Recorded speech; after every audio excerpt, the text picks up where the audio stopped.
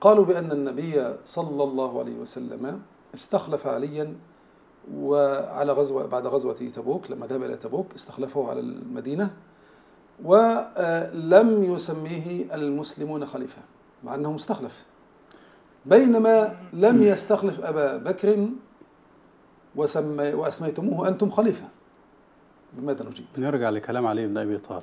فإن نعم. اجتمعوا على رجل وسموه إماما كان ذلك لله رضا. نعم. هذا في نهج البلاغة. آه علي بن أبي طالب آه، استخلفه النبي صلى الله عليه وسلم في غزوة تبوك. نعم.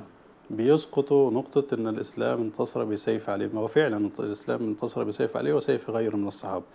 لكن حصر الدين وحصر الجهاد في علي بن أبي طالب هذا هو المرفوض. آه.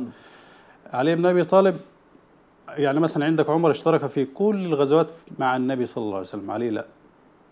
نعم. استخلفه في هذه الغزوة.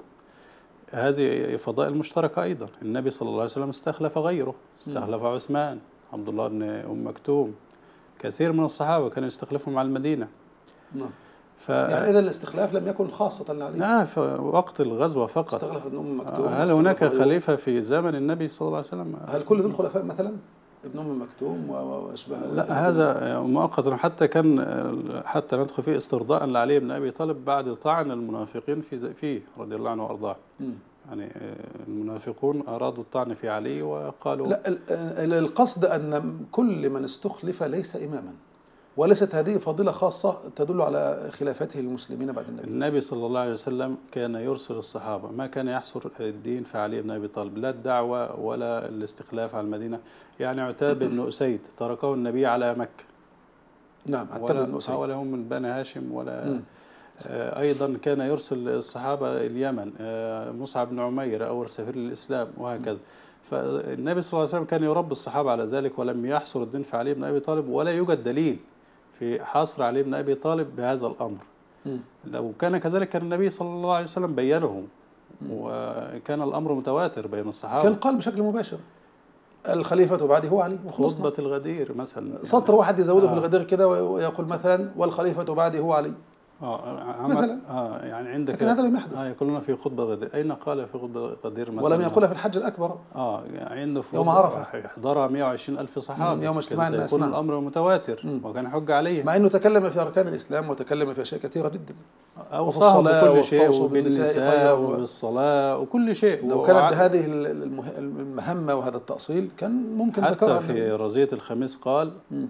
آه، أكتب لكم كتابا لن تضلوا بعده أبدا يعني حتى لو في ضلال قبل ذلك ما كان شيء عليه وهو لم. يكتب. كان كتب. وهو لم يكتب. إذا. هم على الهدى. مم. وعاش بعدها بأيام ولم يكتب. أين النص الجالي على ذلك؟ ما في نص.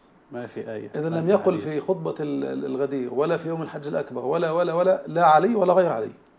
لا آه، خطبة الغدير كما قلنا يعني هي مصالحة وحضرها بس هي بس أهل لكنها المدينة. لكنها نصف دين القوم من أهم آه، جعلوا لها صلاة وعيد و... كل شيء. وفي آه. مؤلف 13 مجلد في في في حديث الغدير هذا. ما كما قلنا يعني مثل الحل يعني كل آيات القرآن يعني عندهم آه، أحدهم هي نصف ألف كتاب يقول خمسين آية في علي بن أبي طالب.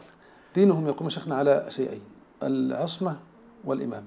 يعتبرون حديث الغدير نصف الدين لأنه هو آه، إمامة علي بن أبي طالب. والعصمة عصمة الأمة الاثنى عشر على النصف الآخر اللي هو عادة أهل البدع شبهات بحر لا ساحل له شبهات متجددة. طالما أنت عاجز تثبت هذه الإمامة لماذا لا تدخل فيما دخل فيه الصحابة فيما دخل فيه علي بن أبي طالب؟ يعني علي بن أبي طالب يحتج على معاوية إنه بايعني القوم الذين بايعوا أبا بكر وعمر وعثمان. مم. بيحتج بالخلافة بيحتج بأفضل شيء بيدعو معاوية إلى ما كان عليه آه، أبو بكر وعمر نعم. وعثمان نعم. ما في أي دليل يعني طيب. حتى يكون حجة على الناس ولا حتى علي بن أبي طالب طوال هذه الفترة آم، يعني ما دعا الناس إليه لم يهاجر مثلا آه، لم بعد موت آه، أبو بكر بعد موت عمر بعد موت عثمان ما قال ذلك. ده بالعكس ده رفضه. دعوني والتمسوا غيري أنا وزير لكم خير مني أمير. مم. فهذا هو حال الصحابة يعني. كانوا أزهد الناس في هذا الأمر يعني.